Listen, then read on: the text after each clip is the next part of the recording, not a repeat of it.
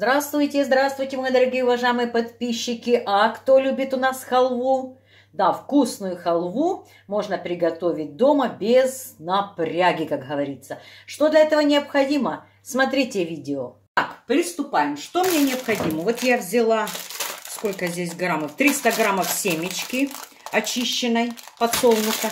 И вот взяла тоже 200 30, короче, 300, 300 семечки и арахиса. И сейчас на кофемолке это все перебью в мелкую такую, э, ну, не пыль, а структура должна быть мелкой. Знаете что, пока я отставлю это все, я сейчас на одной сковородке, в общем, чуть-чуть просушу. Можно в духовке, потому что семечка влажная, ну как влажная, не обжаренная, и халва будет не очень вкусная. А вы там смотрите сами. Я обжарю и арахис, и семечку. Все, обжарила арахис, обжарила семечки, и они должны полностью остыть, потому что если будут теплые, вы не перебьете, оно будет масло образовываться и не перебьете. Ну, старайтесь, не, чтобы не погорели, но немножечко поджарить, чтобы именно, знаете, такие они были, ну, вкусные. Они не жареные, не вкусные. Все, семечки и орехи я перебила. Вот такая структура. На кофемолке по чуть-чуть, и все хорошо получается. Теперь я беру на это количество, я думаю, 4 ложки сахара. Вы можете взять 4 ложки меда жидкого. И сюда налью сейчас 2 столовые ложки водички. 3 4 сахара и 3 воды.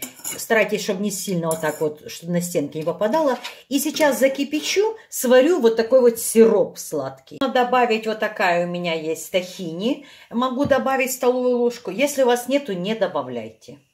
Сироп готов.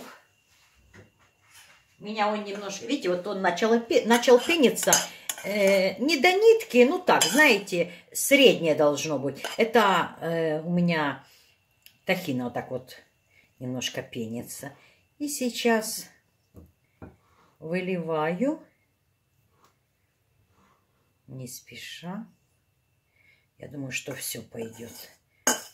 Еще раз скажу, вы можете использовать мед.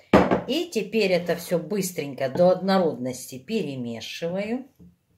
Это очень калорийная э, халва, но это очень вкусно. Так, все, хорошенечко вымешала. Оно не мокрое, но влажное. Взяла вот форму, застелила э, пленочкой. И вот эту массу сейчас высыпаю сюда. Абсолютно ничего не пристает. И теперь вот так вот ложечкой или чем вам удобно, толкушечкой, хорошенечко вот так впрессовываю. Брикетик делаю. Потому что вы знаете, что халва, которая продается в магазине, она прессованная прессованная. Никакой сложности нету. Здесь чисто, без всяких шкарлупочек.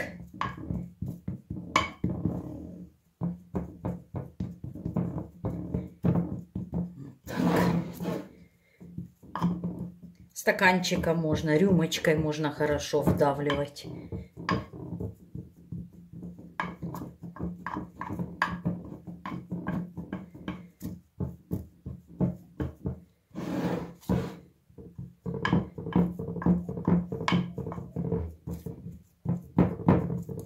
Там у нас было 300, там почти 200. Это 500. Взвесим потом. Все.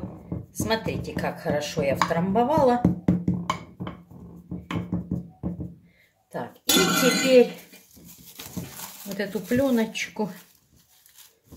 Так. У меня, конечно, я маленькие припуски оставила, но не страшно. Вот так вот оно сделается, это все. Вот так. Закрываем. Вот так еще пальчиками. Можно что-то поставить наверх.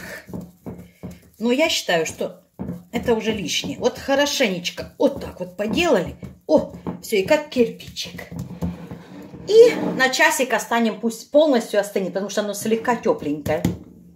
Ну что, мои хорошие, все стыло, но сейчас попытаюсь так высунуть. Не, придется вот так доставать. Только не поломать осторожно. Ух ты, ух ты, ух ты. Ты видишь, что делается? Так туго. Так прямо я его... Опа. Ой-ой-ой, видите, разломала. А знаете почему? Потому что надо ниже, сильно высоко. Надо, чтобы раз и перевернула, а не вот так, что вот это я такое делала. Ну да ладно, сейчас будем пробовать. Все равно же резать, правда? Так, вот сейчас я этот кусочек беру, положу и отрежем. Туго, как халва настоящая режется. Можно было чуть-чуть, идти немножко крошиться, чуть-чуть больше сиропа, а так вообще... Можно было арахис оставить так кусочками. Сейчас попробуем. Маленький кусочек, вот это сейчас я. Так, и независимый эксперт. Независимый эксперт. А ну возьми, пожалуйста, кусочек. Это ты любишь, я знаю. Вот я с краю немножко отвалила. Попробуй, что это такое. Сальдисон. Сальдисон. Халва. Халва. Что ж ты так сразу угадал? Ну и как тебе халва? Вкусная. Вкусная, да? Угу. Отличная. Ну, слава богу. Я скажу, что вот я попробовала. Она не такая сладкая, как в магазине, потому что в магазине там очень много сиропа наливают, этого заливают. У нас в основном орехи. Ну, а вы уже смотрите сами. Там, знаете, бывает так халву разрезаешь, там такие беленькие, как карамельки. Вот э, сироп так уваренный, что он попадает туда и прессуется, получается как карамелька. Очень вкусно. Понятно, что это очень калорийно. Ну, а вы сами делаете вывод, готовить вам или не готовить, правда?